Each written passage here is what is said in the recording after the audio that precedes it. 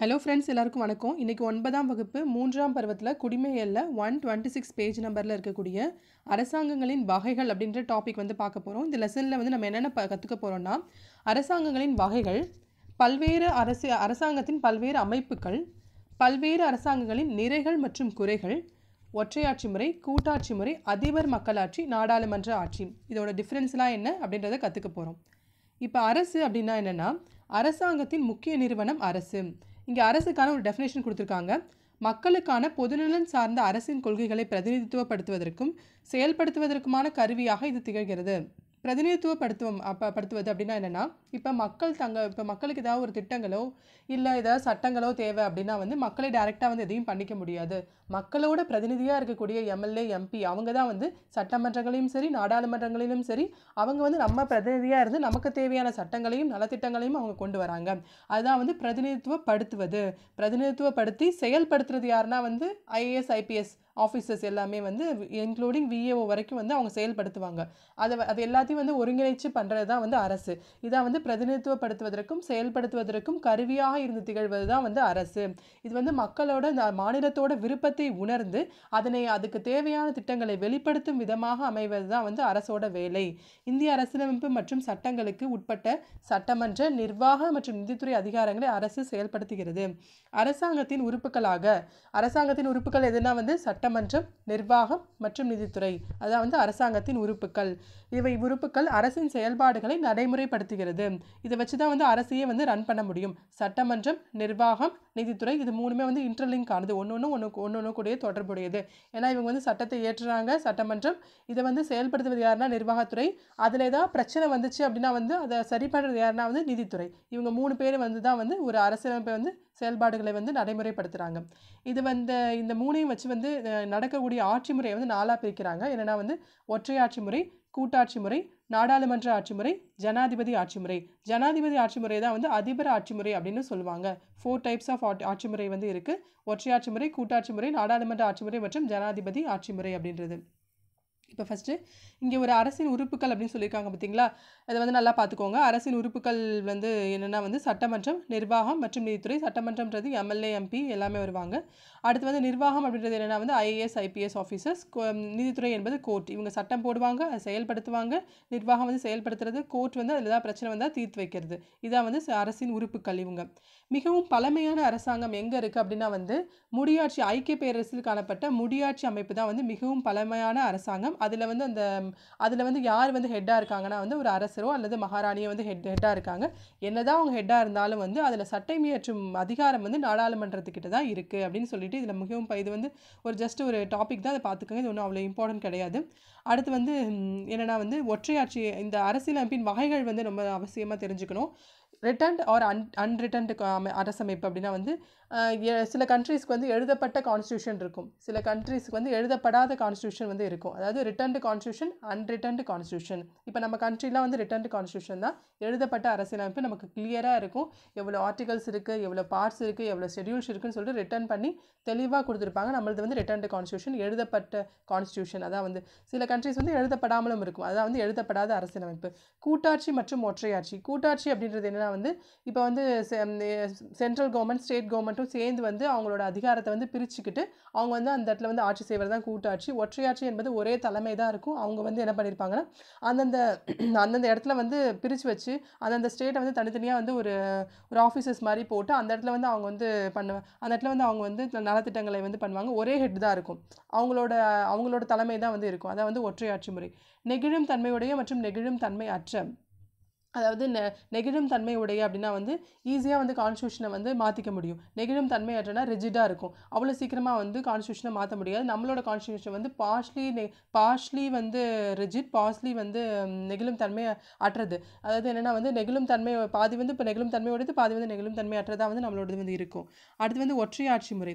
ஒற்றையாட்சி முறை என்பது இறையாண்மை மிக்க ஒரு அரசு ஒரே ஒரு நிறுவனமாக இருந்து ஆட்சி செய்வது தான் வந்து ஒற்றையாட்சி அப்படின்னு சொல்லி சொல்கிறாங்க இதில் வந்து என்னென்னா வந்து மத்திய அரசு இதில் தான் சென்ட்ரல் கவர்மெண்ட் தான் வந்து ரொம்ப அதிகாரம் மிக்கதாக இருக்கும். நிர்வாக அமைப்புகள் மத்திய அரசினால் ஒப்படைக்கப்பட்ட அதிகாரங்களை மட்டுமே செயல்படுத்தும். நிர்வாக அமைப்புகள் அப்படின்னா என்னென்னா அந்த இடத்துல இருக்கக்கூடிய IAS IPS officers including last லெவலில் இருக்கக்கூடிய விஏஓ வரைக்கும் வந்து என்ன பண்ணுவாங்கன்னா வந்து அவங்க அந்த சென்ட்ரல் கவர்மெண்ட் சொல்கிற வேலையை மட்டும்தான் செஞ்சாகணும். ஸ்டேட் கவர்மெண்ட் அப்படின்றது ஒன்று இருக்கவே இருக்காது அந்த இடத்துல. அவங்க வந்து அந்த அவங்க மத்திய அரசினால் கொடுக்கப்பட்ட ஒப்படைக்கப்பட்ட அதிகாரங்களை மட்டும்தான் செயல்படுத்தும். இதுக்கு வந்து எக்ஸாம்பிள் எங்கே என்னென்ன கண்ட்ரிஸ் வந்திருக்காங்கன்னா இங்கிலாந்து ஃப்ரான்ஸு ஜப்பான் மற்றும் இலங்கை ஆகியவை ஒற்றையாட்சி முறைக்கான ஒரு உதாரணம். இந்த இடத்துல அரசு என்னும் பதம் பதம் என்பது ஒரு சொல் அந்த வார்த்தை அந்த வார்த்தை வந்து எங்கேருந்து வந்துச்சு அப்படின்னா வந்து பிரெஞ்சு வார்த்தையான கவர்னர் அப்படின்றதுலேருந்து வந்தது. அதே மாதிரி இயக்கு ஆட்சிசை வழிநடத்து ஆள் என்னும் பொருள் தரக்கூடிய லத்தீன் வார்த்தையான குபர்னரே அப்படின்ற வார்த்தையிலிருந்து தான் வந்து இந்த வார்த்தை வந்து கவர்னர் அப்படி இந்த கவர் இந்த கவர்னர் அப்படின்ற அரசு கவர்மெண்ட் அப்படின்ற வார்த்தை வந்து வந்திருக்கு. கவர்னர்ன்றது வா பிரெஞ்சு வார்த்தையான கவர்னர்ன்றதும் இயக்கு ஆட்சிசை ஆள் ஆட்சிசை வழிநடத்து ஆள் அப்படின்ற வார்த்தையான லத்தீன் வார்த்தையான குபர்னரே அப்படின்றது தான் கவர்மெண்ட் அரசு அப்படின்ற வார்த்தையே வந்திருக்கு. அடுத்து ஒற்றையாட்சி முறையில் அனைத்து அதிகாரங்களும் ஒரே இடத்தில் வந்து மையப்படுத்தப்படுகிறது. ஆனால் கூட்டாட்சி முறையானது முறையானது அதிகாரமானது மத்திய அரசு அதன் அமைப்பு பிரிவுகளுக்கும் வந்து பகிர்ந்தளிக்கப்படுகிறது அப்படின்னு போட்டிருக்காங்க. அதன் அமைப்பு பிரிவுகளுக்கும் பகிர்ந்தளிக்கப்படுகிறது. ஒற்றையாட்சி முறை அரசியலமைப்பிலும் அதிகார பரவலாக்கம் இருந்தாலும் அதனை கூட்டாட்சி முறை என்று கொள்ளலாகாது. ஓகேவா அடுத்து ஒற்றையாட்சி முறையின் நிறைகள் என்ன அப்படின்னா வந்து இது சிறு நாடுகளுக்கு தான் பொருத்தமானது. அதிகாரம் மற்றும் பொறுப்புகளுக்கு இடையே வந்து மோதல் வந்து இருப்பது இல்லை. ஏன்னா வந்து இவங்க சொல்கிறத அவங்க செஞ்சாகணும். ஒரே ஒரு இதுதான். ஒரே அதுதான் வந்து இவங்களுக்கு இடையில வந்து மோதல் வந்து இருப்பாது இருக்காது. ஒற்றையாட்சி முறை உடனடியாக முடிவெடுத்து துரிதமாக செயல்படுகிறது. ஒற்றையாட்சி குறைந்த செலவை உடையது. அரசியலமைப்பு திருத்தங்களை எளிதில் மேற்கொள்ள இயலும். ஏன்னா ஒரே ஹெட் தான் அவங்க அவங்க பாஸ் பண்ணலாம் தான் வந்து இதனால் ஈஸியாக வந்து கொண்டு வந்துட முடியும்? ஒற்றுமை சீரான சட்டம் கொள்கை மற்றும் நிர்வாகத்தினை உள்ளடக்கியது. அடுத்து குறைகள் மிகப்பெரிய நாடுகளுக்கு பொருத்தமற்றது. ஏன்னா வந்து இவங்க ஒரே ஒரே ஹெட் அப்படின்றதுனால வந்து என்ன ஆகும்னா வந்து அந்த அந்த க- அந்த நாட்டோட கடைக்கோடி மக்களுக்கு போய் இது போய் ரீச் ஆகுதா? அப்படின்றது நம்மளால் கண்டுபிடிக்க முடியாது. எந்த விதமான நலத்திட்டமாக இருந்தாலும் சட்டமாக இருந்தாலும் எந்த விதமான பயன்களாக இருந்தாலும் நிதி உதவியாக இருந்தாலும் எல்லாருக்கும் போய் க- போகுதா அப்படின்னு சொல்லிட்டு நம்மளால் பார்க்க முடியாது. அதான் வந்து நிர்வாக தாமதங்கள் ஏற்படும் வாய்ப்புகள் உள்ளன. அதே மாதிரி உள்ளூர் பிரச்சனைகளில் வந்து அக்கறை காட்ட முடியாது. அதனால் வந்து எல்லா பவரும் ஒரே இடத்துல போய் இருந்தால் நான் சொல்கிறது தான் நீங்கள் கேட்டாகணும் அப்படின்னு சொல்லிட்டு சர்வாதிகாரத்தை சர்வாதிகாரத்திற்கு வந்து வழிவகுக்குது இந்த ஒற்றையாட்சி முறை. நம்ம இந்திய அரசியலமைப்பில் இருக்கக்கூடிய சில ஒற்றையாட்சி முறையோட அம்சங்கள் வந்து நம்ம இந்திய அரசியலமைப்பில் காணப்படுது. அது என்னென்ன அம்சங்கள்னு பார்க்கலாம். பலமான மத்திய அரசு இங்கே வந்து நம்ம ஸ்டேட் கவர்மெண்ட் தான் வந்து ஸ்ட்ராங்காக இருக்குது நம்ம என்ன தான் ஸ்டேட்டில் சாரி சென்ட்ரல் கவர்மெண்ட் தான் வந்து இங்கே ஸ்ட்ராங்காக இருக்குது நம்ம என்ன தான் இங்கே ஸ்டேட்டில் வந்து நம்ம வந்து சட்டங்களை போட்டாலும் சென்ட்ரல் கவர்மெண்ட் நினச்சா எதை வேணாலும் இங்கே ஸ்டேட்டுக்கு வந்து கொண்டு வர முடியும். ஸோ அதுதான் வந்து ஸ்டே பலமான மத்திய அரசு. மாநில அரசின் மீது மத்திய அரசின் ஆளுமை. ஒற்றை அரசமைப்பு ஸ்டேட்டுக்கும் சென்ட்ரலுக்கும் ஒரே வகையான கான்ஸ்டியூஷன் தான். அரசியலமைப்பின் நெகிழ்வுத்தன்மை. அடுத்து மாநிலங்களின் சமமற்ற பிரதிநிதித்துவம் அவசர கால ஏற்பாடுகள். அவசர கால ஏற்பாடுகள்லாம் வந்து எமர்ஜென்சி டைமில் என்ன ஆகும்னா இப்போ ஒரு ஸ்டேட்டை ஃபுல்லாத்தையும் வந்து ஸ்டேட்டோட ஸ்டேட்டோட கண்ட்ரோல் ஃபுல்லாத்தையும் சென்ட்ரல் எடுத்துக்க முடியும். ஸ்டேட்டை வந்து ஒன்றுமே பண்ண முடியாமல் சென்ட்ரல் வந்து சென்ட்ரலாக எல்லாமே பண்ண முடியும். ஸ்டேட்டோட லாஸ்லேருந்து எல்லாமே மாற்ற முடியும். ஸ்டே அதே மாதிரி எமர்ஜென்சி டைமில் இருக்கக்கூடிய லாஸ் எல்லாமே க எல்லா கண்ட்ரோலும் வந்து சென்ட்ரல் கவர்மெண்ட் கிட்ட தான் இருக்குது ஸோ அவசர கால ஏற்பாடுகள் அதாவது டாமினன்ட் அதாவது ஒற்றையாட்சினாலே வந்து ஒரு ஒருத்தவங்க டாமினேட் பண்ணுறது அதை வந்து இந்தியா அரசியலமைப்பில் இருக்கக்கூடிய ஒற்றையாட்சி முறை வந்து என்னென்னா வந்து அந்த அரசியலமைப்பு ஏற் அவசரகால ஏற்பாடுகள் அப்படின்றது ஒரு ஒற்றையாட்சி முறையோட ஒரு ஒரு ஒரு டைப் தான். அடுத்து ஒற்றை குடியுரிமை. நம்ம இந்தியா ஃபுல்லாத்துக்கும் ஒரே குடியுரிமை தான். ஒருங்கிணைக்கப்பட்ட ஒற்றை நிதித்துறை அகில இந்திய சேவைகள் ஆளுநர் மத்திய அரசினால் நியமிக்கப்படுதல். நமக்கு ஸ்டேட் கவர்மெண்ட்டுக்கு இருக்கக்கூடிய ஆளுநர் வந்து ஸ்டேட்டுக்கு ஸ்டேட்டுக்கான லாஸ் எதாக இருந்தாலும் பாஸ் ஆகணும்னாலும் வந்து ஆளுநரோட கையொப்பம் வேணும். ஸோ அவர் யாரோட கண்ட்ரோல் அப்படின்னா வந்து சென்ட்ரல் கவர்மெண்ட்டோட கண்ட்ரோல் ஸோ ஆளுநர் வந்து மத்திய அரசால் நியமிக்கப்படுறாரு. அதான். அடுத்து கூட்டாட்சி முறையோட கூட்டாட்சி முறை ஆட்சினா என்ன? தேசிய அரசுக்கும் பிராந்திய அரசுக்கும் இடையே இருக்கும் உறவின் அடிப்படையிலேயே ஒற்றையாட்சி முறை கூட்டாட்சி முறை என்று வகைப்படுத்தப்படுகிறது அப்படின்னு போட்டிருக்காங்க. தேசிய அரசு பிராந்திய அரசு. தேசிய அரசுனா வந்து சென்ட்ரல் கவர்மெண்ட் பிராந்திய அரசு என்பது மாநில அரசு மத்திய ஸ்டேட் கவர்மெண்ட்டை தான் வந்து பிராந்திய அரசுன்னு சொல்லுவாங்க. ஓகேவா மாநில அரசு. பிராந்தியம்ன்றது மாநிலம். இதற்கு இடையில கூடிய ரிலேஷனை பொறுத்து தான் வந்து அது ஒற்றையாட்சி முறையாக கூட்டாட்சி முறையாக அப்படின்னு சொல்கிறாங்க இவங்க வந்து இந்த கூட்டாட்சி முறையில் ஒன்றும் கிடையாது. அவங்கவங்க அவங்களோட அவங்களோட எல்லைகளை பிரிச்சுக்கிட்டு அவங்களோட அதிகாரங்களை பகிர்ந்துக்கிட்டு வாழ்கிறது தான் வந்து இந்த கூட்டாட்சி முறை. இதுக்கு எக்ஸாம்பிள் என்ன வந்து அமெரிக்க ஐக்கிய நாடுகள் Switzerland Australia Canada Russia Brazil Argentina ஆகிய நாடுகள் கூட்டாட்சி முறையை கொண்டவை. கூட்டாட்சி முறையை முறையில் வந்து இந்த தேசிய அரசை வந்து மைய அரசுன்னு சொல்கிறாங்க மத்திய அரசுன்னு சொல்கிறாங்க பிராந்திய அரசு வந்து மாநில அரசுன்னு சொல்கிறாங்க மாகாண அரசுன்னு சொல்கிறாங்க அடுத்து கூட்டாட்சி முறையோட நிறைகள் என்ன அப்படின்னா வந்து உள்ளூர் சுய ஆட்சி ஏன்னா வந்து அவங்க வந்து பிரிச்சுக்கிறாங்க. பிரிச்சுக்கிறனால உள்ளாட்சி தேர்தல்கள்லாம் வருது. அதனால் வந்து உள்ளூரில் வந்து சுய ஆட்சி ஏற்படுத்தப்படுது. தேசிய ஒருமைப்பாட்டிற்கு இடையே சமரசம் ஏற்படுதல். ஏன்னா வந்து இவங்களோட தேவைகளை இவங்களே பண்ணிக்கிறதுனால வந்து சமரசம் ஏற்படுது. அடுத்து வந்து மத்திய மாநில அரசுகளுக்கு இடையான அதிகார பகிர்வு நிர்வாக திறன்கள் மேம்பட வழிவகுக்கிறது. அதிகாரத்தை பகிர்ந்து பகிர்ந்துக்கிறதுனால வேலைகள் வந்து சீக்கிரமாக முடிக்கப்படுது.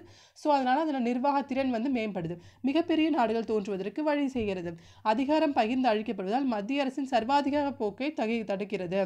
ஏன்னா இவங்க தேவை இவங்க பண்ணிக்கிறதுனால சர் மத்திய அரசு வந்து சென்ட்ரல் கவர்மெண்ட் வந்து அவங்க வந்து சர்வாதிகாரமாக வந்து இங்கே இங்கே வந்து எதையும் வந்து பண்ண முடியாத மாதிரி அவங்க பண்ணுறாங்க மிகப்பெரிய நாடுகளுக்கு பொருத்தமானது பொருளாதார மற்றும் பண்பாடு முன்னேற்றத்திற்கு நன்மை அளிக்கிறது. அடுத்து ஒற்றையாட்சி முறை கூட்டாட்சி முறை இடையே டிஃப்ரென்ஸ் என்ன அப்படின்னா ஒரே ஒரு அரசு துணைக்குழுக்கள் வேணாலும் இருக்கலாம். இங்கே வந்து இரண்டு நிலையில் அரசாங்கம் வந்து இருக்குது பெரும்பாலும் ஒரே ஒரு குடியுரிமை இங்கே வந்து இரட்டை குடியுரிமை இருக்குது இரட்டை குடியுரிமை என்னென்னா அவங்க இருக்கக்கூடிய மாகாணத்துக்கு அந்த அந்த பிராந்தியத்துக்கு ஒரு குடியுரிமை இருக்கும். அந்த கண்ட்ரி ஃபுல்லாக ஒரு குடியுரிமை இருக்கும். அதான் வந்து இரட்டை குடியுரிமை. துணைக்குழுக்கள் தன்னிச்சையாக செயல்பட இயலாது. இங்கே கூட்டாட்சியின் குழுக்கள் மத்திய அரசிற்கு உட்பட்டவை. அதிகார பகிர்வு இல்லை அதிகார பகிர்வு உண்டு. மையப்படுத்தப்பட்ட அரசாங்கம் அதிகார பரவல் மையப்படுத்தப்பட்ட அரசாங்கம் என்னென்னா ஒரே அந்த அந்த ஹெட் அப்படின்ற ஒரு இடத்துக்குலாம் வந்து மையம். மையம்னா வந்து போய் அந்த இடத்துல குவியுது. ஸோ அந்த ஒரு இடத்துல மட்டும்தான் போயிட்டு மையமாகுது. அதிகாரங்கள் எல்லாமே ஒரே இடத்துல போய் குவியுது. இங்கே வந்து அதிகாரம் வந்து பரவிடுது. எல்லாருக்கும் வந்து பிரித்து கொடுத்துட்றாங்க அது அதிகார பரவல் கூட்டாட்சியின் குறைகள் என்னென்ன அப்படின்னா வந்து ஒற்றையாட்சி முறையோட ஒப்பிடும்பொழுது கூட்டாட்சி முறை பலவீனமானது. ஏன் அப்படின்னா வந்து இங்கே வந்து எந்த ஒரு முடிவுகளாக இருந்தாலும் வந்து ரொம்ப லேட்டாக நடத்தப்பட நே லேட்டாக எடுக்குது. ஸோ இவங்க அதனால தான் வந்து இது பலவீனமாக இருக்குது கூட்டாட்சி முறை அதிக செலவீனம் கொண்டது. ஏன்னா வந்து இவங்களுக்கு தனியாக வந்து நிர்வாகத்துக்கு ஆளுங்க வந்து இருப்பாங்க. இவங்களுக்கு தனியாக வந்து நிர்வாகத்துக்கு ஆளுங்க இருப்பாங்க. அதனால் வந்து இது ரொம்ப செலவீனம் கொண்டதாக இருக்குது பிராந்திய போக்குகள் தான் பொதுவாக காணப்படும். பிராந்திய போக்கு அப்படின்னா வந்து அந்தந்த மாநிலம் பிராந்தியம் பிராந்தியம்ன்றது அந்த மாநிலம். அந்த மாநிலத்தோட ஒரு ஒரு அவங்க சொல்கிறது தான் அப்படின்ற மாதிரி அவங்க இருப்பாங்க. அந்த மாநிலம் வந்து தனக்கு தேவையான தானே நிறைவேற்றிக்கிறதுனால வந்து அவங்கவுங்க அவங்கவுங்க வேலையை பார்த்துட்டு போகிற மாதிரி இருக்கும். அந்த பிராந்திய போக்கு தான் வந்து இருக்கும். நிர்வாக சமநிலையில் குறைபாடுகள். அப்படின்னா வந்து என்னென்னா வந்து நிர்வாக சமநிலையில் குறைபாடுகள் எப்படின்னு என்னென்னா இவங்க வந்து இந்த- அந்தந்த கண்ட்ரி அந்தந்த ஸ்டேட்டுக்கு வந்து நம்ம கொடுக்கறது வந்து அந்த சென்ட்ரல் கவர்மெண்ட்டால் கொடுக்கக்கூடிய நிர்வா அந்த ரெவன்யூ வந்து எல்லாருக்கும் போய் சமமாக வந்து போய் சேராது. தேசிய உரிமைப்பாட்டிற்கு அச்சுறுத்தல். அ- அதிகார பகிர்வில் மத்திய மாநில அரசுகளுக்கிடையே முரண்பாடு உருவாகிறது. ஆமாம். இரட்டை குடியுரிமை இரட்டை குடியுரிமை அதான் அவங்க வாழ்கிற இடத்துக்கு ஒரு வாழ்கிற இடத்துக்கு ஒரு குடியுரிமை இருக்கும் அந்த கண்ட்ரி ஃபுல்லாக ஒரு குடியுரிமை. மாறி வரும் தேவைகளுக்கு ஏற்ப மாற்றி அமைக்க இயலான இயலாத திடமான அரசியலமைப்பு. எந்த விதமான அந்த அந்த கான்ஸ்டியூஷன் எதையுமே வந்து அந்த கூட்டாட்சி முறையில் இருக்கக்கூடிய கான்ஸ்டியூஷன் வந்து ரிஜிடாக இருக்கும். எதுவுமே நம்மளால் மாற்ற முடியாது. வெளியுறவு கொள்கைகளில் சில நேரங்களில் மாநில அரசுகள் தடைகளை ஏற்படுத்துகின்றன. ஏன்னா இப்போ மாநிலத்தில் போய் ஏதோ ஒரு குறிப்பிட்ட மாநிலத்தில் போய் ஏதோ ஒரு நலத்திட்டங்களோ இல்லை ஒரு ஒரு வெளியுறவு கொள்கைனா வந்து வெளி வெளி கண்ட்ரிஸோ வந்து வெளியிலேருந்து ஏதாவது நம்ம ஒரு ந- ஒரு திட்டங்களை வந்து எடுத்துகிட்டு வந்து அந்த ஸ்டேட்டுக்கு வந்து அமல்படுத்தும் பொழுது அவங்க வந்து அதை அக்செப்ட் பண்ண பண்ணாமல் போகிறதுக்கும் வாய்ப்புகள் நிறையா இருக்குது ஸ்டேட் என்னதான் வந்து மைய அரசு சொன்னாலும் அதை வந்து பிராந்திய அரசு ஒத்துக்காமல் போகிறதுக்கும் வழி வ- வழிவகை இருக்குது ஸோ மாநில அரசு சில தடைகளை ஏற்படுத்துது அப்படின்னு போட்டிருக்காங்க. அடுத்து இந்திய நம்ம இந்தியன் கான்ஸ்டியூஷனில் காணப்படக்கூடிய கூட்டாட்சி முறை என்ன? கூட்டாட்சி முறையோட அம்சங்கள் என்னென்ன அப்படின்னு பார்ப்போம்.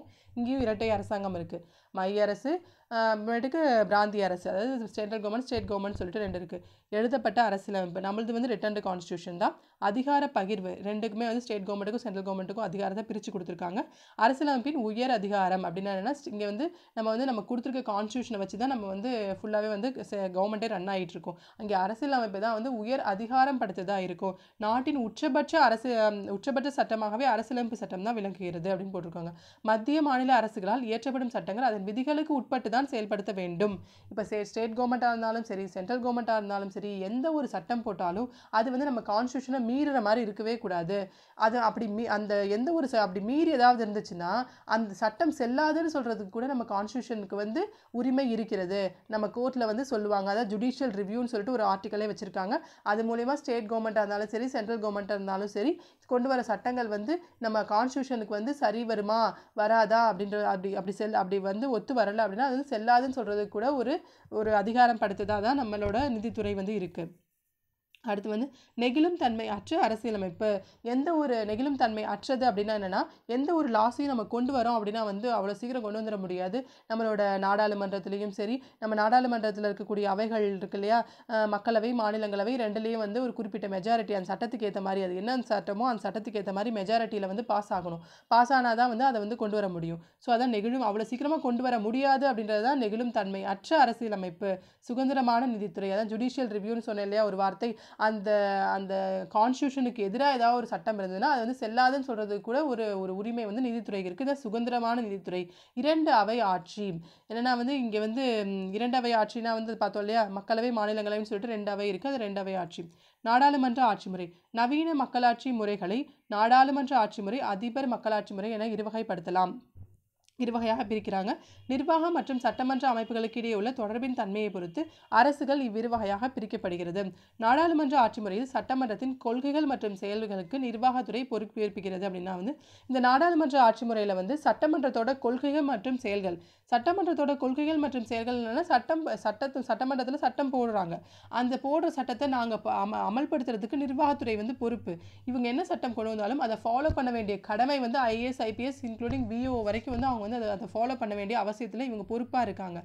ஸோ இது வந்து பொறுப்பேற்கிறது. சட்டமன்றத்தின் கொள்கைகள் மற்றும் செயல்களுக்கு நிர்வாகத்துறை வந்து பொறுப்பேற்கிறது அதுதான். இப்போ வந்து இது பார்த்துக்கோங்க. இஸ்ரேலோட நாடாளுமன்றத்தோட பேர் என்ன? இது கேட்பாங்க இது கேட்கறதுக்கு வாய்ப்பு இருக்குது இஸ்ரேலோட நாடாளுமன்றத்தோட பே- பேர் என்ன? அடுத்து வந்து கெனஸ்ட் அப்படின்னு கொடுத்துருக்காங்க. ஜெர்மனி வந்து பந்தஸ்டாக் டென்மார்க் வந்து போக்டிங் நார்வே வந்து ஸ்டாண்டிங் அமெரிக்க ஐக்கிய நாடுகள் வந்து காங்கிரஸ் அப்படின்னு சொல்லி கொடுத்துருக்காங்க. இது பார்த்துக்கோங்க. நாடாளுமன்ற ஆட்சி முறை அமைச்சரவை அமைச்சரவை அரசாங்கம் அல்லது பொறுப்பு அரசாங்கம் அல்லது வெஸ்ட்மின்ஸ்டர் அரசாங்க மாதிரி என பல்வேறு பெயர்களில் அழைக்கப்படுகிறது. இது பார்த்துக்கோங்க. நம்ம இந்தியா ஃபாலோ பண்ணுறது வந்து இந்த பார்லிமெண்ட்ரி கவர்மெண்ட் தான். நாடாளுமன்ற ஆட்சி முறையை தான் வந்து நம்ம இந்தியா ஃபாலோ பண்ணுறோம் ஸோ அதனால் இதோட வேறு பேர்லாம் என்னென்னு பார்த்துக்கோங்க. அமைச்சரவை அரசாங்கம் பொறுப்பு அரசாங்கம் வெஸ்ட்மினிஸ்டர் அரசாங்க மாதிரி. என பல்வேறு முறைகளில் நாடாளுமன்ற ஆட்சி முறை அழைக்கப்படுகிறது. நம்ம இந்தியா ஃபாலோ பண்ணுறது இந்த முறை தான். அதனால் இந்த இந்த பேர் இந்த மா வேறு பெயர்கள்லாம் நல்லா பார்த்துக்கோங்க. இவ்வகை ஆட்சி முறை யார் யாரெல்லாம் ஃபாலோ பண்ணுறாங்கன்னா பிரிட்டன் ஜப்பான் கனடா இந்தியா போன்ற நாடுகளில் காணப்படுகிறது. அதனால் இந்த இங்கே இருக்கக்கூடிய ஆட்சி முறையோட பேரை பார்த்துக்கோங்க. மேலே இருக்கக்கூடிய நாடாளுமன்றத்தோட பேரை பார்த்துக்கோங்க. இது அடிக்கடி கேட்குற கொஸ்டின் பார்த்துக்கோங்க. அடுத்து நாடாளுமன்ற ஆட்சி முறையின் அம்சங்கள். பெயரளவில் மற்றும் உண்மையான நிர்வாகிகள் அப்படின்னா என்னென்னா பெயரளவில். பெயரளவில் மற்றும் உண்மையான நிர்வாகிகள். பெயரளவில் அப்படின்னா என்னென்னா இப்போ பிரசிடென்ட் பெயரளவில் இருப்பார். உண்மையான நிர்வாகிகள் அப்படின்னா அப்படின்னா என்ன? ஆர்டிகல் செவன்ட்டி ஃபோர் என்ன சொல்லுதுன்னா பிரைம் மினிஸ்டரும் அவங்களோட அமைச்சர்களும் சேர்ந்து பிரசிடெண்ட்டுக்கு ஆலோசனை கூறி அரசை வழிநடத்தலாம் அப்படின்ற மாதிரி சொல்லியிருக்காங்க. அதான் என்னதான் வந்து கவர்மெண்ட் இருந்தாலும் பெய கவர்மெண்ட்டோட ஹெட் வந்து பெயரளவில் பெ- ஒரு பிரசிடெண்ட்டாக இருந்தாலும் அவர் பெயரளவில் தான் ஹெட்டு அதான் பெயரளவில். ஆனால் உண்மையான அதிகாரங்கள் எல்லாமே வந்து உண்மையான நிர்வாகியாக யார் இருக்காங்கன்னா பிரசிடெண்ட் நம்மளோட பிரைம் மினிஸ்டர் தான் இருப்பார். அதான் பெயரளவில் அதிகாரங்கள் வந்து யார்கிட்ட இருக்குன்னா ப்ரெ பிரசிடென்ட் கிட்ட இருக்குது ஆனால் உண்மையான அதிகாரங்கள் எல்லாமே யார்கிட்ட இருக்குன்னா பிரைம் மினிஸ்டர் கிட்ட தான் இருக்குது அதான் வந்து பெயரளவில் மற்றும் உண்மையான நிர்வாகிகள் கொண்ட ஒரு அமைப்பை வந்து நம்ம நம்ம நாடாளுமன்ற ஆட்சி முறையில் நம்ம உருவாக்கி வச்சுருக்கோம் அப்படின்னு இருக்காங்க.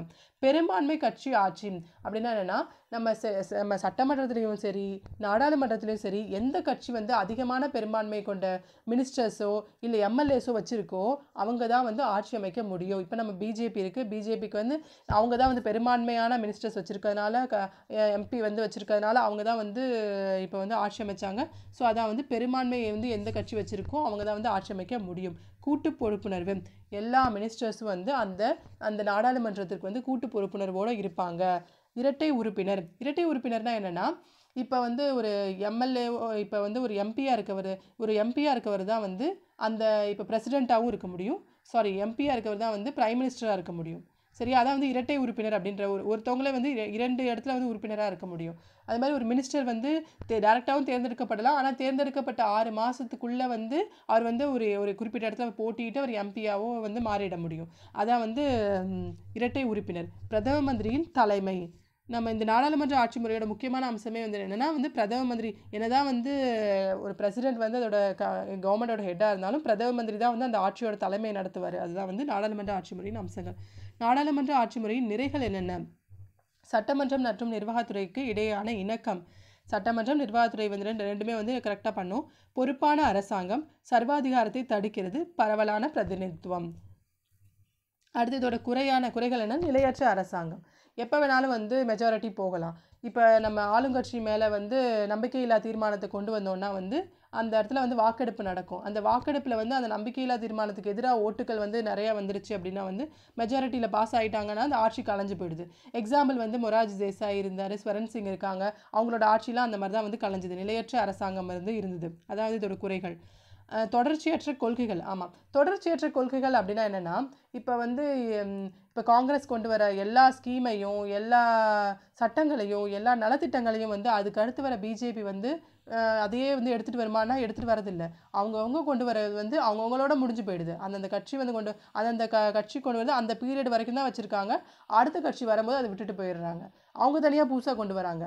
அதை வந்து ஃபாலோ பண்ண மாட்டேங்கிறாங்க. ஸோ அதான் வந்து தொடர்ச்சியற்ற கொள்கைகள். அமைச்சரவையின் சர்வாதிகாரம். அடுத்து வந்து அதிகாரங்களை பிரிப்பதில் உள்ள சிக்கல்கள். ஆமாம். இங்கே வந்து இவங்களுக்கு வந்து state state laws central laws அதெல்லாம் வந்து பிரிக்கிறதுல வந்து இடையில வந்து நிறைய வந்து பிர- பிரச்சனை வருது. அடுத்து அதிபர் மக்களாட்சி முறை பற்றி பார்க்க போகிறோம் அதிபர் மக்களாட்சி முறை என்பது சட்டமன்றத்திற்கு பொறுப்பில்லாததாகவும் நாடாளுமன்றம் அற்றதாகவும் நிலைத்த நிர்வாக அற்ற நிலைத்த நிர்வாகம் அற்றதாகவும் அமைப்புடையதாகவும் இருக்கும். அதிகார பகிர்வு கொள்கையின் அடிப்படையிலேயே அமைக்கப்பட்ட இவ்வரசு. இவ்வரசு முறை அமெரிக்கா பிரேசில் ரஷ்யா இலங்கை போன்ற நாடுகளில் காணப்படுகிறது அப்படின்னு போட்டிருக்காங்க. இப்போ இங்கே ரெண்டு ரெண்டு பாக்ஸ் கொடுத்துருக்காங்க. பூட்டானில் ஏற்பட்ட வரலாற்று மாற்றம் ஏப்ரல் புரட்சி மற்றும் நேபாளத்தின் மக்களாட்சி. பூட்டானில் ஏற்பட்ட வரலாற்று வரலாற்று மாற்றம் அப்படின்றது ஒன்றும் இல்லை.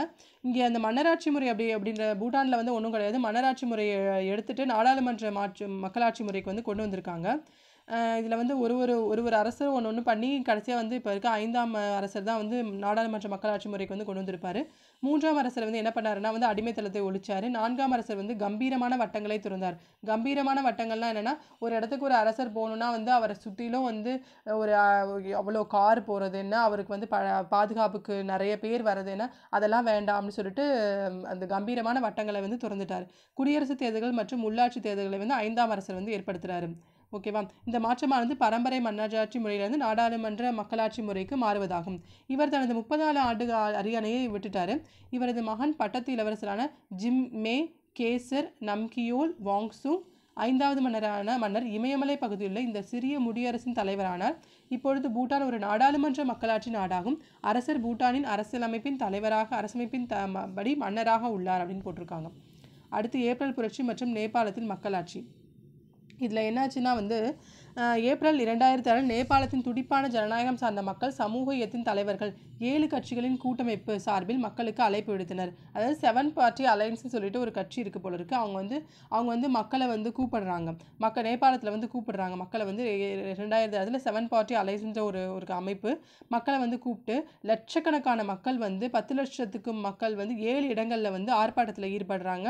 இது மூலயமா வந்து என்ன ஆகுது அப்படின்னா வந்து அந்த அந்த அந்த இடத்துல கூடிய நாணேந்திரா அப்படின்ற ஒரு அரசருக்கு எதிரான முடியாட்சி முறை மன்னராட்சி முறைன்றலாம் சொல்லுவோம் இல்லையா? அந்த முடியாட்சி முறை முடிவுக்கு வந்து மக்களாட்சி முறை வந்து ஏற்படுது. அதான் வந்து செவன் பார்ட்டி அலையன்ஸ் மூலயமா வந்து இது நடக்குது. ஸோ இதான் வந்து ஏப்ரல் புரட்சி இதுதான் வந்து ஏப்ரல் புரட்சின்னு சொல்கிறாங்க எங்கே நடந்துச்சுன்னா நேபாளத்தில் வந்து ஏற்படுது. இந்த ஏப்ரல் புரட்சி மூலயமா வந்து மக்களாட்சி வந்து அந்த இடத்துல மலருது. அதுதான் அடுத்து வந்து அதிபர் மக்களாட்சி முறையோட அம்சங்கள் என்ன? அமெரிக்க அதிபர் மாகாணம் மற்றும் அரசின் தலைவராக திகழ்கிறார். ஓகே. அந்த அந்த ஸ்டே அந்த கவர்மெண்ட்டோட தலைவர் யாருன்னா வந்து அந்த அதிபர் தான். அரசின் தலைவர் என்பது ஒரு பேரழிவுக்கான பகுதியாகும். அரசாங்கத்தின் தலைவராக நிர்வாக அமைப்புகளுக்கு தலைமை தாங்கி வழிநடத்துகிறார். அதிபர் அம- அமெரிக்க அதிபர் வாக்காளர் மன்றத்தில் நான்காண்டுகளுக்கு ஒரு முறை தேர்ந்தெடுக்கப்படுகிறார். ஒரு கடுமையான அரசியலமைப்பு சட்டத்தின் குற்றச்சாட்டு இருந்தால் மட்டுமே நாடாளுமன்றத்தில் பதவியேற்க செய்ய செய்ய முடியும். அதாவது அவர் மேலே குற்றச்சாட்டு இருந்தால் தான் கடுமையான குற்றச்சாட்டு இருந்தால் இருந்தால் மட்டும்தான் நாடாளுமன்றத்தால் அவரை வந்து பதவியிறக்கம் செய்ய முடியும் அப்படின்னு சொல்கிறாங்க இவர் எப்படி வந்து தன்னோட ஆட்சியை வந்து நடத்துகிறாரு அப்படின்னா வந்து அவர் வந்து ஒரு கிச்சன் கேபினெட் அப்படின்ற ஒரு அமைச்சரவை வச்சிருக்காரு. அதில் இருக்கக்கூடிய ஆளுங்களை அவர் தான் தேர்ந்தெடுக்கிறாரு. அவர் வே- வேணும்னா அவர் அவங்க அவங்கள வந்து தகுதி நீக்கம் செய்யப்படுற உரிமையும் வந்து அவருக்கு வந்து உண்டு. எந்த நேரத்தில் அவங்கள வந்து பதவி இறக்கம் செய்யப்பட உரிமையும் அவங்க வந்து இருக்காங்க. கிச்சன் கேபினெட் அப்படின்னா என்னென்னா என்னென்னா வந்து அதிபருக்கு வந்து உதவியாக இருக்கக்கூடிய ஒரு அமைச்சர்கள் தான் வந்து கிச்சன் கேபினெட் அமைச்சர்கள் அப்படின்னு சொல்லி சொல்கிறாங்க அடுத்து மகாசபையின் செயல்பாடுகளுக்கு அதிபர் வந்து பொறுப்பு ஏற்க மாட்டார். ஏன்னா வந்து மகாசபைனா என்னென்னா வந்து அங்கே இருக்கக்கூடிய லெஜிஸ்லேட்டிவ் பாடி சட்டமன்றம் அந்த லெஜிஸ்லேட்டிவ்னா வந்து அந்த நாடாளுமன்றம். அது தனியாக இருக்கும். ஆனால் வந்து இவ அதிபர் அப்படின்றவர் வந்து தனியாக இருப்பார். அவங்களோட கொள்கைக்கு வந்து இவர் வந்து பொறுப்பேற்க மாட்டார். அதோட கூட்டங்கள்லையும் போய் கலந்துக்க மாட்டார். மகாசபையின் கீழவை கீழவையான கீழவையின் பிரதிநிதிகளின் அவையை வந்து இவரால் கலைக்க முடியாது. அதிகாரங்களை பிரிக்கும் கோட்பாடு அடிப்படையிலே அமெரிக்க அதிபர் முறை விளங்குகிறது. அரசின் சட்டமன்ற நிர்வாகம் மற்றும் நீதி துறை அதிகாரங்கள் மூன்றும் தனியாக பிரிக்கப்பட்டு சுதந்திரமாக இயங்கும் அமைப்புகள் ஆகும்னு போட்டிருக்காங்க. அதிபர் ஆட்சி முறையோட நிறைகள் என்ன? ஜனநாயகமானது அதிபரின் முறையான கட்டுப்பாடு முடிவெடுத்தலை மேம்படுத்துகிறது மாகாண அரசாங்கம். இதோட குறைகள் என்ன அப்படின்னா சத் சர்வாதிகாரமாக சிதையும் வாய்ப்பு. ஆமாம் ஏன்னா வந்து ஒருவர் அவரோட தலைமை தானே. ஸோ அதனால் சர்வாதிகாரமாக வந்து மாறுறதுக்கான வாய்ப்பு அங்கே இருக்குது நிர்வாகம் மற்றும் சட்டமன்றத்திற்கு இடையிலான இணக்கமற்ற உறவு. ஆமாம் இவங்க சொல்கிற லாஸை வந்து இவங்க வந்து பண்ணுவாங்களா அப்படின்றது வந்து சொல்ல முடியாது. ஸோ அதான் இணக்கமற்ற உணர்வு வந்து உ- உ- உறவு வந்து இருக்குது சட்டமன்றம் நிர்வாக குழுக்களுக்கு இடையிலே நல்லுறவு இன்மை அப்படின்றது இங்கே இருக்குது அடுத்து ஆட்சியின் கருத்தமைப்பு அரசாங்கத்திலிருந்து அரசாங்கத்திலிருந்து ஆட்சிக்கு. நல்லரசு என்பது பொது விவகாரங்களையும் பொது வ- பொது வளங்களையும் பொது நிறுவனங்கள் பயன்படுத்தும் விதத்தையும் குறிப்பாக சர்வாதி சர்வதேச வள வளர்ச்சி இலக்கத்தில் தனித்துவமிக்க ஒரு சொல்லாக பயன்படுத்தப்படுகிறது. நல்ல ஆட்சியோட பண்புகள்லாம் என்ன அப்படின்னா பங்கேற்பு சட்டத்தின் ஆட்சி வெளிப்படைத்தன்மை விரைவான நேர்மையான வினையாற்றல் கருத்தொற்றுமை சமத்துவம் திறமை மற்றும் செயல்திறன் பொறுப்புடைமை. இதான் வந்து நல்லாட்சியோட பண்புகள். அடுத்து அதிபர் மக்களாட்சி நாடாளுமன்ற மக்கள் நாடாளுமன்ற ஆட்சி முறை. ரெண்டுக்குள்ள டிஃப்ரென்ஸ் என்ன அப்படின்னா வந்து குடியரசுத் தலைவர் மக்களால் தேர்ந்தெடுக்க நேரடியாக தேர்ந்தெடுக்கப்படுகிறார். அதிபர் ஆட்சி முறையில் குடியரசுத் தலைவரை வந்து டைரெக்டாக தேர்ந்தெடுக்கிறோம். ஆனால் மக்களாட்சி முறையில் வந்து பெரும்பான்மை பெற்ற கட்சியின் தலைவர் பிரதம மந்திரி ஆகிறார். ஆமாம் பிரதம மந்திரி வந்து பெரும்பான்மை பெற்ற கற்ற பெற்ற கட்சியின் தலைவர் தான் வந்து இங்கே வந்து பிரதம மந்திரி ஆகுறாங்க. அதிபரை அதிகாரம் படுத்தவர் மத்திய சட்டமன்றம் அதிகாரம் படைத்தது. அதிகார பிரிவினை அதிகார பிரிவினை மையப்படுத்தப்படாமல் இருப்பது. இங்கே வந்து அதிகார பிரிவினை வந்து எல்லாமே வந்து அதிபர் அப்படின்ற ஒருத்தவர்கிட்ட தான் இருக்கும். ஆனால் இங்கே அதிகார பிரிவினை வந்து எல்லா நாடாளுமன்றம் அது மாதிரி சட்டமன்றம் அப்படின்னு சொல்லிட்டு எல்லா இடத்துலையும் வந்து பிரிச்சிடுறாங்க. அதை வந்து அதிகாரத்தை வந்து பிரித்து கொடுத்துட்றாங்க. சுதந்திரமாக செயல்படும் பிரிவுகள் தனித்தனியான சார்புடைய செயல்பாடுகளை கொண்ட பிரிவுகள் அப்படின்னு கொடுத்துருக்காங்க. சட்டமன்றம் நிர்வாகம் நீதினு சொல்லிட்டு தனித்தனியாக சார்புகளை கூடிய கொண்ட பிரிவுகள் வந்து இங்கே இருக்குது மாகாணத்தின் தலைவர் அதிபர் அரசின் தலைவர் குடியரசுத் தலைவர். அதிபரும் அரசாங்கத்தின் தலைவரும் அதே அதிபரே அரசாங்கத்தின் தலைவர் வந்து பிரதம அமைச்சர் பிரதம அமைச்சர். அரசின் தலைவர் அரசாங்கத்தின் தலைவர்னு சொல்லிட்டு நாடா நம்ம ஸ்டேட் நம்ம கண்ட்ரியில் வந்து எப்படி வந்து நம்ம ஃபால் நாடாளுமன்ற ஆட்சி முறை ஃபுல்லாகவே நம்மளோட கண்ட்ரி அதை வச்சு ஞாபகம் வச்சு நம்ம கான்ஸ்டியூஷன் தான் இங்கே இருக்குது நாடாளுமன்ற ஆட்சி முறை. நம்மளோட அரசின் தலைவர் யார் அப்படின்னு சொல்லி கேட்டாங்கன்னா குடியரசுத் தலைவர். அரசாங்கத்தின் தலைவர் யாருன்னு கேட்டாங்கன்னா பிரதம அமைச்சர். இதனால் பார்த்துக்கணும். அடுத்து தனிநபர் தலைமை இங்கே வந்து கூட்டு தலைமை. குடியரசுத் தலைவர் பிரதம அமைச்சர் ரெண்டு பேருமே கூட்டாக இருந்து தான் நம்ம நம்மளோட அரசாங்கத்தை வந்து வழிநடத்துகிறாங்க கூட்டு தலைமை. மகாசபையின் செயல்களுக்கு அதிபர் பொறுப்பு ஏற்க மாட்டார். கூட்டு மற்றும் தனித்தனியான பொறுப்புகள். மகாசபைனா வந்து என்னன்னா நம்ம இங்கே இருக்கக்கூடிய நாடாளுமன்றம். நாடாளுமன்றம் நாடாளுமன்றம்னா அது வந்து மக்களவை மாநிலங்களவையோட சட்டங்களுக்கு வந்து இவர் வந்து பொறுப்பேற்க மாட்டேங்கிறாரு.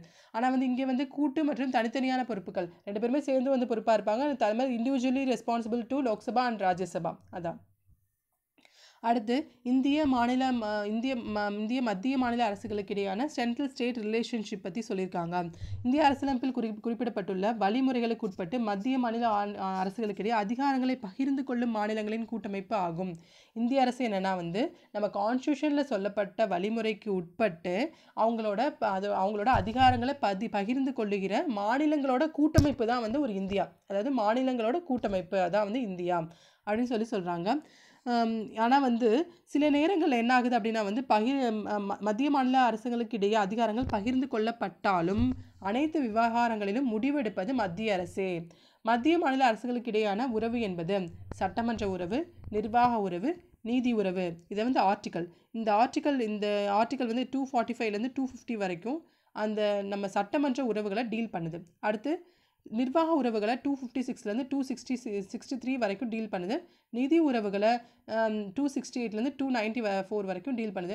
ஆர்டிகல்ஸ் வந்து நிறைய இருக்குது நம்ம வந்து ஆனால் இது புக்கில் கொடுத்துருக்கிறதுனால வந்து நல்லா நல்லா மெமரைஸ் பண்ணிக்கோங்க. சட்டமன்ற உறவுகள் நிர்வாக உறவுகள் நிதி உறவுகள் அந்த எது வரை எதுலேருந்து எது வரைக்கும் அப்படின்றது வந்து நல்லா ஞாபகம் வச்சுக்கோங்க. நல்லா பார்த்துக்கோங்க. மத்திய மாநில அரசுகள் சட்டங்கள் இயற்றும் அதிகாரம் படித்தவை. ஆனாலும் அதிகாரங்கள் வேறுபடுகிறது. சில குறிப்பிட்ட துறைகளுக்கு சட்டம் இயற்றும் அதிகாரம் வந்து சில குறிப்பிட்ட அந்த அந்த அதிகாரம் அந்த அரசுகள்கிட்ட மட்டும்தான் இருக்கும். இப்போ மத்திய அரசிடம் மத்திய அரசு வந்து சட்டம் போடணும்னா ஒரு மூணு பட்டியல் கொடுத்துருக்காங்க. மத்திய பட்டியல் மாநில பட்டியல் பொது பட்டியல்னு சொல்லிட்டு. மத்திய அரசு சட்டம் போடணும்னா மத்திய அரசு அந்த மத்திய பட்டியலுக்கு கீழே இருக்கக்கூடிய சப்ஜெக்ட்ஸில் மட்டும்தான் வந்து சட்டம் போட முடியும். மாநில அரசு சட்டம் போடணும்னா மாநில பட்டியலுக்கு கீழே இருக்கக்கூடிய சப்ஜெக்ட்ஸில் தான் வந்து போட முடியும். பொதுப்பட்டியலும் அதே மாதிரி தான். பொதுப்பட்டியலில் வந்து ரெண்டு பேரும் வந்து சட்டம் போட்டுக்கலாம். ரெண்டு பேரும் மத்திய அரசு மாநில அரசு ரெண்டு பேருமே போட்டுக்கலாம். இது மத்திய ப மத்திய பட்டியலில் இருக்கக்கூடிய துறைகள் எத்தனைன்றது நல்லா கவுண்ட்ன்றது ரொம்ப முக்கியம். மத்திய பட்டியலில் இருக்கக்கூடிய துறைகள் எத்தனைன்றதை பார்த்துக்கோங்க. வெளியுறவுத்துறைகள் பாதுகாப்பு ஆயுதப்படைகள் தொலைத்தொடர்பு தபால் தந்தி மாநிலங்களுக்கு இடையான வியாபாரம் மற்றும் வணிகம். எல்லாமே வந்து மத்திய பட்டியலில் தான் வரும். ஓகேவா? அடுத்து மாநில பட்டியலில் அறுபத்தி ஒரு துறைகள் இருக்குது பொது ஒழுங்கு காவல் காவல்துறை நீதித்துறை நிர்வாகம் சிறைத்துறை உள்ளாட்சி அமைப்புகள் விவசாயம் போன்றவை மாநில பட்டியலில் வருது. பொதுப்பட்டியலில் வந்து ஐம்பத்தி ரெண்டு துறைகள் இருக்குது குற்றவியல் சிவில் நடைமுறைகள் திருமணம் விவாகரத்து பொருளாதாரம் மற்றும் சிறப்பு திட்டமிடல் செய்தித்தாள் புத்தகங்கள் மற்றும் அச்சகங்கள் மக்கள் தொகை கட்டுப்பாடு எல்லாமே வந்து பொதுப்பட்டியலில் வருது. இதனால் ஞாபகம் வச்சுக்கோங்க. அடுத்து மொத்த தேசிய மகிழ்ச்சி. மொத்த தேசிய மகிழ்ச்சி என்பது தற்பொழுது வளர்ந்து வரும் ஒரு தத்துவம். ஒரு குறிப்பிட்ட நாட்டில் உள்ள மொத்த மகிழ்ச்சியை குறிக்கும் ஒரு குறியீடு. இது யாரை வந்து இது எப்போ வந்துச்சு அப்படின்னா வந்து ஜூலை பதினெட்டு ரெண்டாயிரத்தி எட்டில் வந்து நடைமுறைப்படுத்தப்பட்டது. இந்த வார்த்தை இந்த பதம் அப்படி இந்த மொத்த தேசிய மகிழ்ச்சி என்னும் பதத்தை சொன்னது யார்? பதம்னா வார்த்தை. அந்த வார்த்தையை வந்து சொல். அந்த வார்த்தையை வந்து சொன்னது யார் அப்படின்னா வந்து பூட்டானோட நான்காம் அரசர் வந்து ஜிம்மே சிங்கியே வான்சூங் அவர்களால் வந்து ஆயிரத்தி தொள்ளாயிரத்தி எழுபதில் தான் வந்து உருவாக்கப்பட்டுச்சு. மொத்த தேசிய மகிழ்ச்சி அப்படின்னா என்ன அப்படின்னு இங்கே ஒரு டெஃபினேஷன் கொடுத்துருக்காங்க. மொத்த தேசிய மகிழ்ச்சி நிலையான மற்றும் சமமான சமூக பொருளாதார வளர்ச்சி மற்றும் சுற்றுச்சூழல் பாதுகாப்பு மற்றும் ஊக்குவிப்பு பண்பாடு மற்றும் நல்ல ஆட்சி ஆகியவற்றை மைய மைய கருத்தாக கொண்டு தான் வந்து மொத்த தேசிய மகிழ்ச்சி அப்படின்னு சொல்லி சொல்லியிருக்காங்க. அவ்வளோதான் ஃப்ரெண்ட்ஸ் இந்த லெசன் வந்து முடிஞ்சிருச்சு. அரசாங்கம் அரசாங்கத்தின் வகைகள் அப்படின்றது வந்து நைன்த்து நைன்த்து ஸ்டாண்டர்ட் வந்து செகண்ட் தேர்ட் டேர்மில் குடிமையல்ல அரசாங்கங்களின் வகைகள் அப்படின்ற டாபிக் வந்து பார்த்தோம். நெக்ஸ்ட்டு டாபிக் வந்து உள்ளாட்சி அமைப்புகள். அது வந்து நெக்ஸ்ட் வீடியோவில் பார்க்கலாம். இந்த வீடியோஸ்லாம் பிடிச்சிருந்தா என்னோடய சேனலை வந்து சப்ஸ்கிரைப் பண்ணுங்கள் தேங்க்ஸ் ஃபார் வாட்சிங் திஸ் சேனல்